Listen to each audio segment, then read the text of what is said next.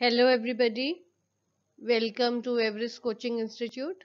Today, to, we will discuss class 11th accounts.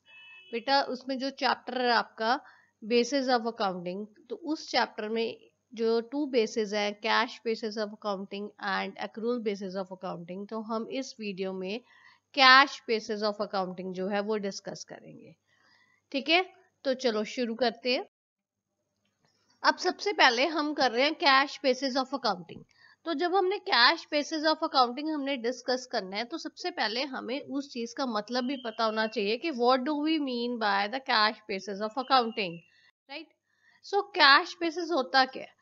अब सबसे पहले बेटा आप ये चीज़ समझ लो कि ये चीज़ है क्या? कैश बेसिस क्या होता है? Cash basis refers to an accounting system that recognizes revenues and expenses at the time when cash is received or paid out. क्या कहना चाहता है वो?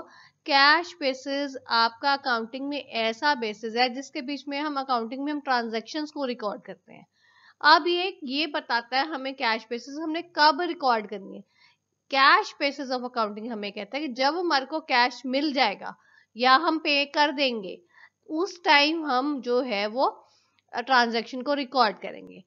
फॉर एग्ज़ाम्पल अगर हमने कोई कैश सेल की है राइट कैश सेल किया और जब हमारे को कैश मिल गया, हमने तभी रिकॉर्ड कर देना अगर हमें उस टाइम कैश नहीं मिल रहा है तो जिस टाइम हमारे को कैश मिलेगा, उस टाइम हम उसको रिकॉर्ड करेंगे। हम पहले ट्रांजेक्शन को रिकॉर्ड नहीं करेंगे। ठीक है? इस चीज़ को हम ऐसे भी कह सकते हैं कि in other word there must be inflow and outflow of cash means cash आपका या आपका आ रहा है या जा रहा है। जब आपका आ रहा है या जा रहा है, उस केस में आप उस ट्रांजेक्शन को रिकॉर्ड करोगे कैश बेसिस ऑफ़ अकाउंटिंग में।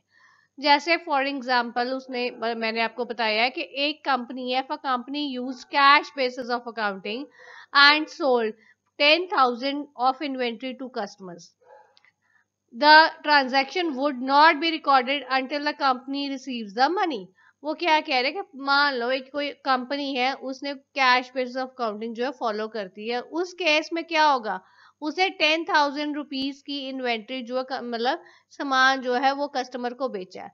अब वो ट्रांजेक्शन तब तक रिकॉर्ड नहीं की जाएगी जब तक वो कंपनी उससे पैसा रिसीव नहीं कर लेगी। ठीक है? ये मैंने आपको सिंपल से एग्ज़ाम्पल बताई है, आगे मैं आपको इसको प्रॉपरली भी एक और एग्ज़ाम्पल से समझाऊँगी।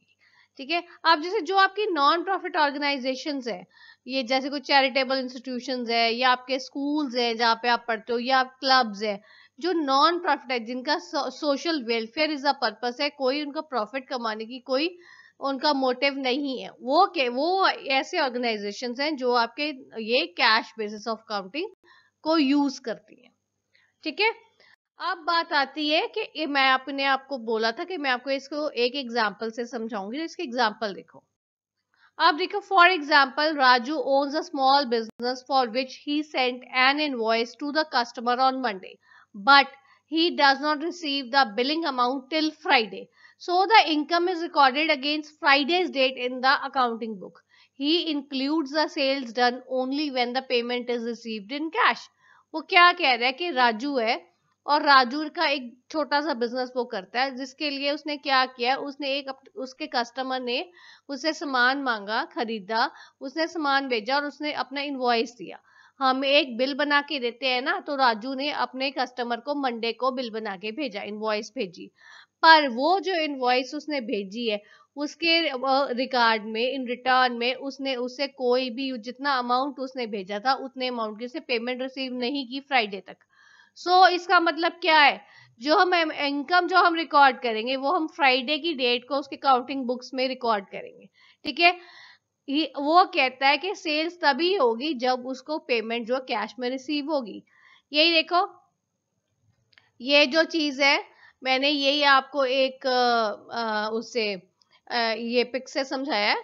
देखो एक ये राजू है राजू ने एक इनवॉइस सेंड की है कस्टमर को मंडे को और उसके बाद में Raju does not receive amount till Friday अब उसने पे, जब उसने पैसा ही रिसीव नहीं किया कैश में तो उसमें क्या है तो वो पेमेंट जब रिसीव नहीं हुई है तो वो उसकी रिकॉर्डिंग नहीं करेगा। जब उसको पेमेंट रिसीव होगी उस डेट को वो रिकॉर्डिंग करेगा। ठीक है? Raju does not include sales until unless payment is received in cash ठीक है बेटा? क्लियर हो गया? तो चलो अब हम आगे देखते हैं कि इनके फीचर्स क्या है। कैश बेसिस ऑफ़ अकाउंटिंग जो हमने डिस्कस किया वो कैश बेसिस ऑफ़ अकाउंटिंग के हमारे क्या क्या फीचर्स है। सो so, फ़र्स्ट है एक तो ये बहुत सिंपल प्रोसेस है। क्यों सिंपल प्रोसेस है? वो कहते हैं जब कैश आया या कैश है तभी हमने रिकॉर्डिंग करनी है। हमने अगर कोई उधारी पे काम कर रहा है तो हमने उसको देखना ही नहीं है। जब वो हमें पैसा देगा या वो पैसा लेगा उस टाइम हम रिकॉर्ड करेंगे। ठीक है? दूसरा वो कहता है it mainly focuses on expenses and does not match expenses and revenues ये जो कैश बेसिस ऑफ़ अकाउंटिंग है, ये ज़्यादा हमारे एक्सपेंसेस के ऊपर फोकस करता है, ज़्यादा ध्यान एक्सपेंसेस के ऊपर देता है और यहाँ पे कोई हमारी मैचिंग नहीं होती, जो क्योंकि जो हम खर्चा कर रहे हैं, आज हम जो भी खर्चा कर रहे हैं, उससे कोई कभी ना कभी तो रेवेन्यू जनरेट होगा ना। तो वो उस चीज़ के ऊपर ध्यान नहीं था क्योंकि उस स्टेट पे उनको कैश नहीं आ रहा है। तो मैचिंग जो है, वो आपने मैचिंग कंसेप्ट आपने पहले पढ़ा हुआ है, वो जो मैचिंग कंसेप्ट है, वो उसको फॉलो नहीं करता है। ठीक है?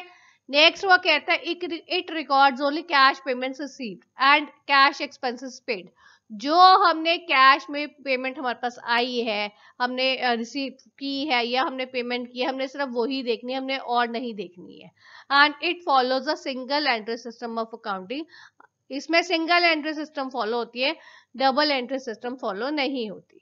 इसलिए ये है हमारे कैश बेसिस के फीचर्स राइट अब हम देखते हैं इनकी एडवांटेजेस क्या है, कि क्या क्या इनके फ़ायदे हैं कैश बेसिस ऑफ़ अकाउंटिंग तो इसके देखो, जो पहला एडवांटेज क्या है? पीपल विद वेरी लिटिल और no knowledge of finance and accounting can easily understand it because it is a single entry system and simple क्योंकि ये एक जो सिस्टम ऐसा है कैश बेस ऑफ़ फंडिंग बहुत ही सिंपल है, जो हमने फीचर्स में किया था और ये सिंगल एंट्री सिस्टम पे बेस्ड है। तो इसलिए जिन लोगों को ज़्यादा नॉलेज मतलब कोई लेमैन है, जिसको नॉलेज नहीं है ज़्यादा फाइनेंस की या अकाउंटिंग की बहुत थोड़ी नॉलेज है, वो भी इसको समझ जाएगा।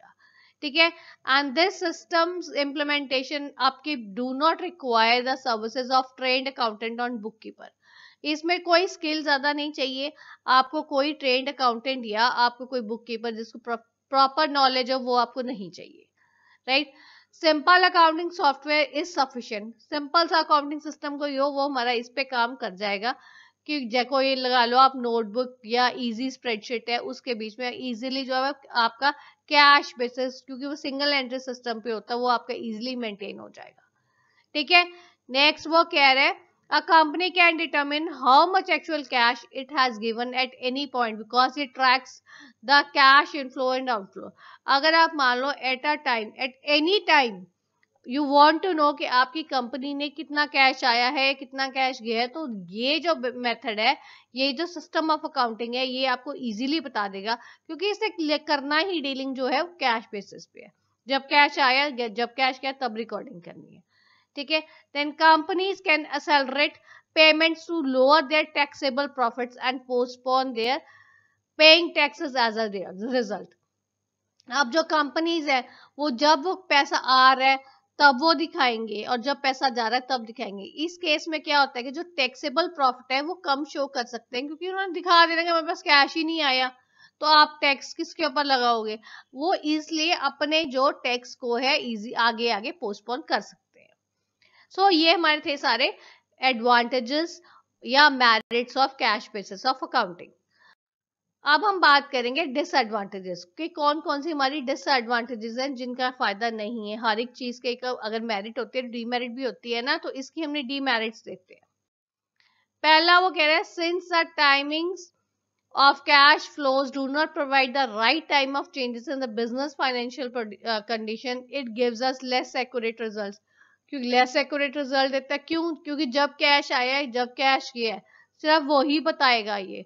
एग्जैक्ट टाइम मतलब जब आपकी ट्रांजैक्शन हुई, वो नहीं ये बात करता, जब आपके पास कैश आया या कैश किया है, उस टाइम की बात करता है। इसलिए it gives less accurate results right secondly by not cashing by not cashing cheques that have been और by altering the due date for its liabilities this type of funding can be manipulated manipulated तो easily होगा बेटा क्योंकि इसमें check तो हम ले नहीं रहे हम अगर कोई उधारी का काम तो इसमें कर ही नहीं रहे जिसमें आपके चेक्स आ गए या बिल्स रिसेवेबल या बिल्स पेबल तो हमने लेना ही नहीं है।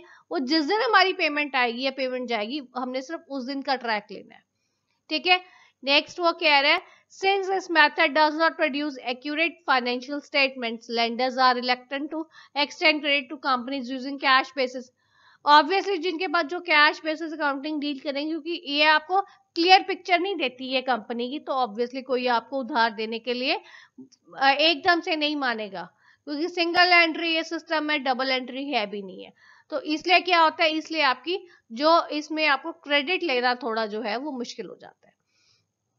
देन कम्स फाइनेंशियल स्टेटमेंट जो हम प्रिपेयर करते हैं। ये जो इसमें क्या सिंगल एंट्री सिस्टम है तो ये ऑडिटिंग के लिए ऑडिटर जो इसको सब जल्दी जल्दी नहीं पकड़ते हैं।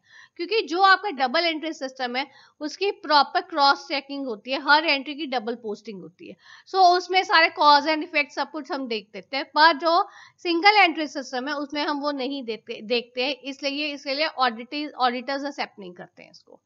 Firms are unable to publish management reports using such accounting because the results are regularly incorrect.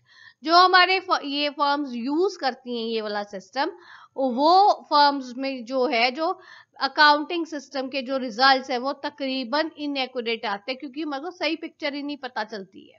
आधे जो हमारी इसमें मैनिपुलेशन ज़्यादा होती है, आधे हमारे रिकॉर्ड इसमें प्रॉपर सही नहीं आते हैं। राइट सो ये हमारी थी demerits of cash accounting system. अब हम बात करेंगे एक मैं आपको एग्जांपल से समझाऊँगी कैसे इसमें इनकम कैलकुलेट करते हैं कैश बेसिस ऑफ़ अकाउंटिंग में। सो so, इसके लिए देखो एक हम मैंने एग्जांपल लिए यही मैं एग्जांपल आपको जो एक्रूअल सिस्टम में करवाएँगे इसी एग्जांपल से आपको उसमें इनकम निकालने सिखाऊँगी। ठीक है अभी हम राम की इनकम कैलकुलेट कर रहे हैं using cash basis of accounting तो इस केस में देखो बेटा हमारे एक्सपेंसेस पेड है one lakh sixty thousand expenses paid in advance including in one lakh sixty thousand के बीच में ही इंक्लूडेड है वो। वो एडवांस के पेमेंट है forty thousand expense is not yet paid जो हमने एक्सपेंस अभी पे नहीं किया वो ट्वेंटी थाउज़ेंड है। Income receive two lakh forty thousand है। इनकम रिसीव्ड इन एडवांस के बीच में टू लैख फोर्टी थाउज़ेंड के बीच में इंक्लूडेड है thirty thousand and income not yet received that is twenty four thousand ठीक है, अब इसी को, इसकी हम सोल्यूशन देखते हैं कैसे सॉल्व करेंगे। अब ये देखो, सबसे पहले हमने रेवेन्यू देखते हैं। रेवेन्यू क्या है? Income receive two lakh forty thousand right तो एक्सपेंसेस कितने, जो हमारे पास रिसीव आ चुके हैं, हमने वही लिखने हैं। इसके में कुछ नहीं हमने करना है कि हमने इसमें, क्योंकि जो आ चुके हैं, कोई इसमें ये तो है नहीं कि हमारे पास अभी आने हैं। एडवांस में भी हमने रिसीव कर लिए तो भी हम इसमें इनकम में डाल देंगे। नाउ कम्स एक्सपेंसेस एक्सपेंसेस को हमने वन लैख सिक्सटी थाउज़ेंड हमने रिसीव किया जो हमने पहले पे कर दिए, वो भी हम ले लेंगे। ठीक है, अब उसने बोला कि नेट इनकम या प्रॉफिट हमने निकालना कैश बेसिस पे। उसमें क्या हम, मैंने जो इनकम रिसीव्ड है, उसको ए का नाम दिया और जो एक्सपेंसेस पेड है, उसको बी का नाम दिया।